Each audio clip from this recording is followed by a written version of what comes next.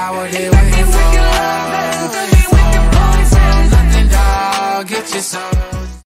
I know this is the shortest video I've done, but a subscriber requested it, and I did the best research I did, and I could try, and I tried my hardest. I really did. I tried my hardest to get the best research I could here. But we're talking about MonsterVerse Godzilla versus Hanna Barbera Godzilla, and this is probably going to be a quick address here. It's a ten minute video, and honestly, I hate hate this because you know I usually give longer and better applies here. But uh yeah, honestly, um MonsterVerse Godzilla. Let's talk about how strong he is. He's incredibly strong, easily continental to multi-continental. Was able to rip apart a net that was holding down Titanus Na Kika, who was capable of shattering a sorry, is actually capable of shattering an entire oil platform with just one tentacle uh, is able to throw Titanus Amhuluk casually, who's capable of knocking out Behemoth. These monsters actually do scale to Godzilla's durability, and they will actually scale above the Permian extinction because that didn't even hurt Godzilla at all here. So yeah, Godzilla is actually incredibly strong, and like I said, incredibly durable with the Permian extinction feat, which wiped over 90% of life on Earth. So again, that's pretty ridiculous, right? You also have the fact that Godzilla is ridiculously fast here. You can actually put him around hypersonic to around Mach 33 here. Um, which is actually massively, massively hypersonic here, because King Ghidorah was actually able to go to the edge of the atmosphere while holding Godzilla in just a couple minutes. So again, that is a noteworthy feat in its own right here. And Rodan is said to be faster than that here. So again, going to the edge of the atmosphere quite easily with little to no effort here. So honestly, um, yeah, Godzilla's pretty strong, pretty fast, pretty durable. He also has his atomic breath, was actually able to drill through the hollow earth, which means Godzilla drilled through the earth's crust, drilled through an interdimensional gateway that led to the hollow earth, and boom, hits the bottom of, or the top, or the second um, area of the hollow earth here, okay? So yeah, Godzilla is act. This Godzilla is actually just ridiculously strong, ridiculously durable, and ridiculously fast. So now let's cover uh, Hanna Barbera Godzilla here. This Godzilla is actually I I liked it. I liked the stuff I actually watched from you know the little clips and snippets. I was actually able to you know gather this information from here. Hanna Barbera Godzilla is actually incredibly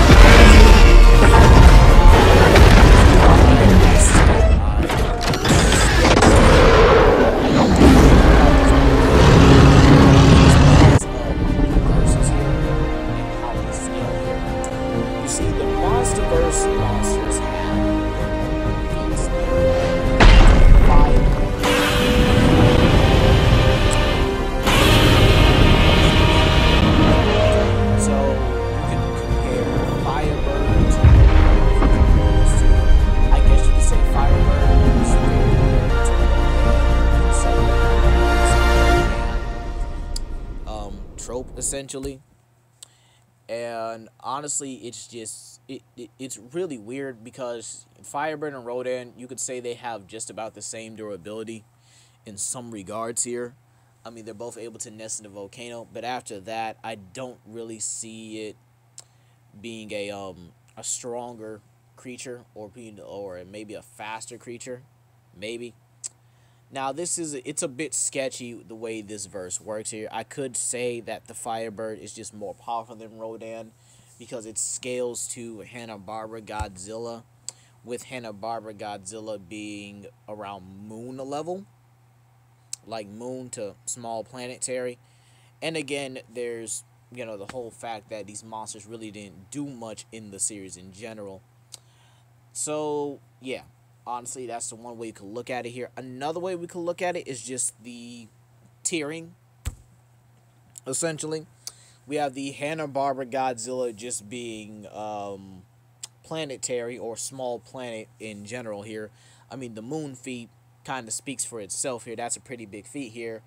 It's one of the reason why Power Rangers are actually more overpowered than you think here because the enemies that they're fighting are capable of pulling or moving or destroying the moon. That poor moon gets abused in Power Rangers. Like, like honestly, the moon in Power Rangers just gets abused so much. It is not even funny.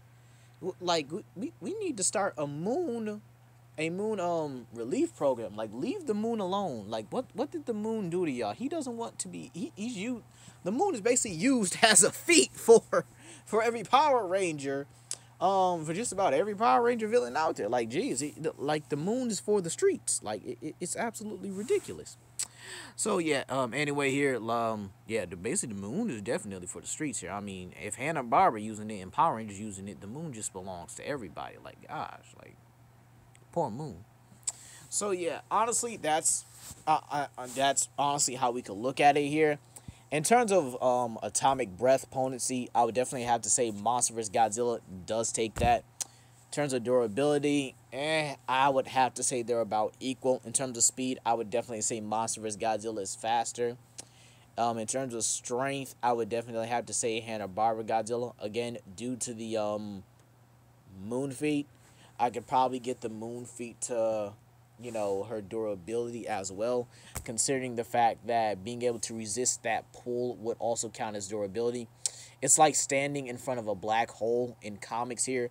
Like if the character's skin starts to peel off or, you know, the black hole is wearing them down, they're, yes, they're durable enough to withstand the black hole. But again, that means like it's chipping at them. It's like chip damage you do in like Mortal Kombat when the opponent blocks, but you're still getting that tiny little snippets of damage off them.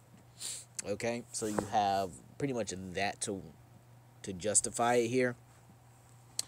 Now I understand what some of you guys are probably expecting here, and honestly, I'm.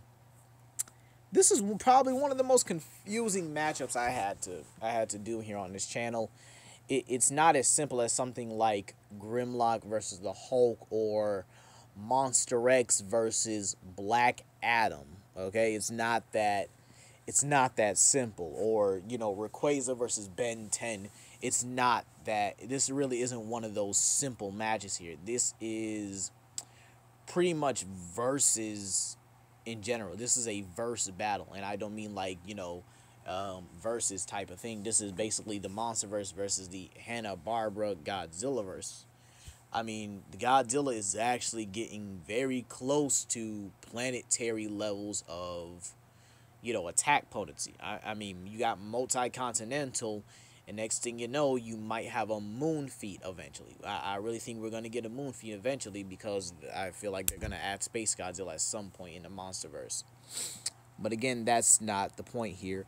It's really about just the creatures in the verse. I do think if verse versus verse were pretty much going up against each other, I think the MonsterVerse would actually have a better chance of beating the creatures from the Hanna-Barbera verse.